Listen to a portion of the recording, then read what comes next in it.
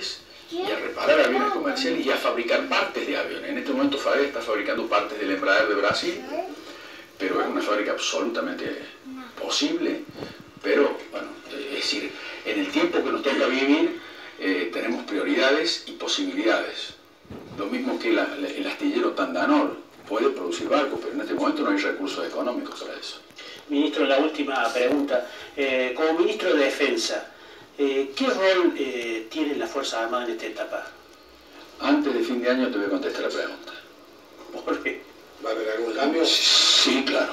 Importantísimos cambios. Estamos, vamos a, el compromiso con el presidente es antes de fin de año de redefinir el rol de las Fuerzas Armadas, cómo se cubren los tres espacios vitales que tiene la Argentina, el terrestre, el marítimo y el, espacio aéreo, cómo se, cómo se va a rearmar o se va a armar la ciberdefensa en la Argentina.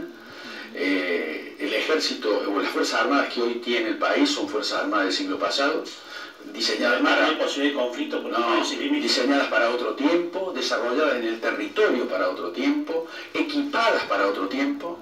Bueno, eso lo tenemos que redefinir antes de fin de año y a partir de ahí eh, yo he sugerido que tiene que haber una prioridad. Tenemos dos prioridades en este momento en las Fuerzas Armadas. Fijar el rol. En base a ese rol, reequipar las Fuerzas Armadas en base a una prioridad. No es cuestión de que una fuerza diga yo necesito un avión y la otra diga yo necesito un tanque. Hay que ver cuáles son las prioridades. Y el otro tema es restablecer salarialmente a los militares que han quedado en el último escalón eh, de la conformación de, de los sueldos públicos. Muy bien, ministro Oscar Agual, ministro de Defensa, muchísimas gracias. Sabemos que ha hecho un gran esfuerzo por estar aquí. Gracias. Los 100 programas, así que le agradecemos el esfuerzo. Pero voy a ser sincero. También vine porque mañana se cumplen